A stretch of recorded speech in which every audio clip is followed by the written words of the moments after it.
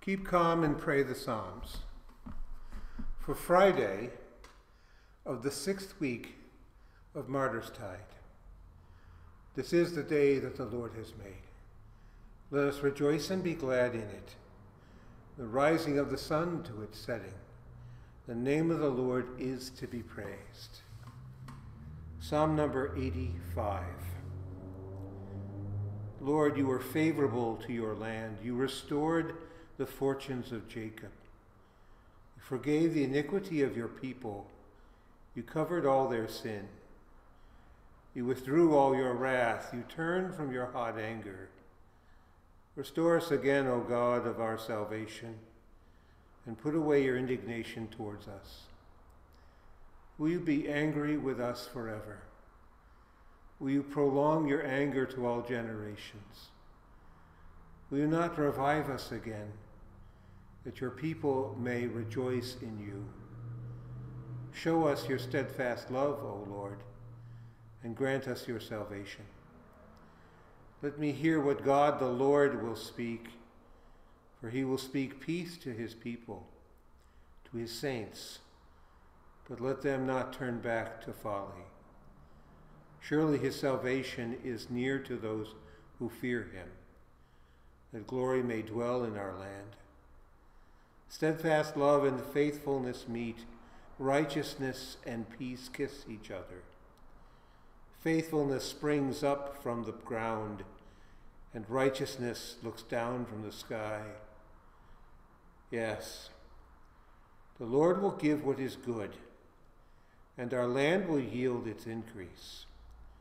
Righteousness will go before him and make his footsteps a way.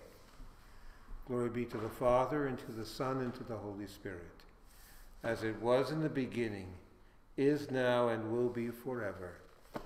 Amen. We speak the Catechism.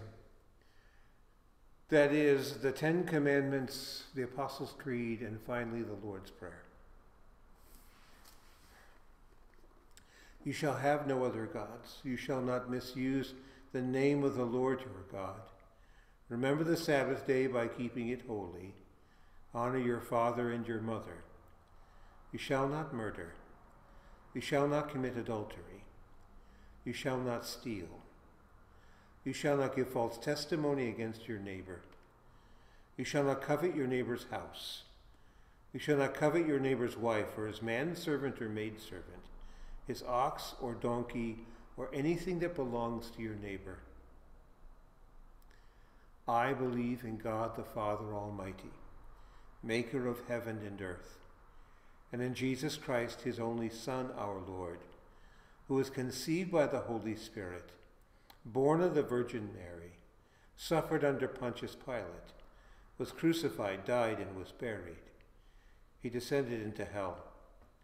The third day he rose again from the dead.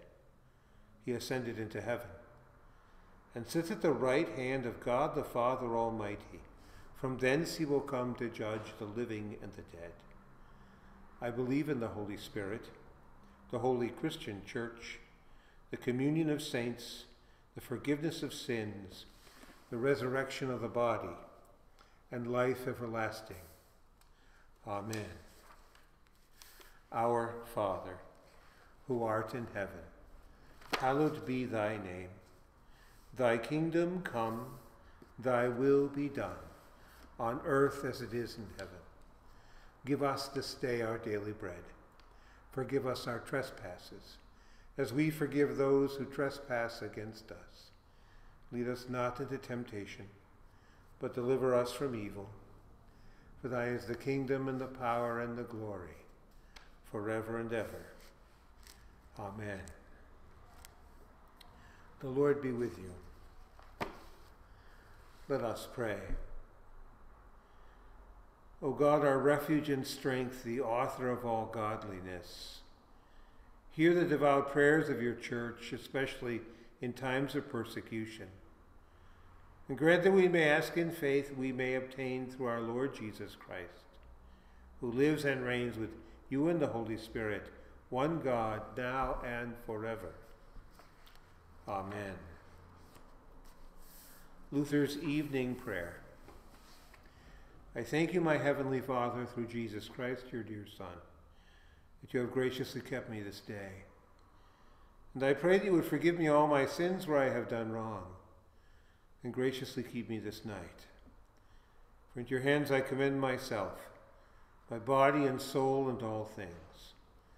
That your holy angel be with me, that the evil foe may have no power over me. Amen. Let us bless the Lord. Thanks be to God. The Lord bless thee and keep thee.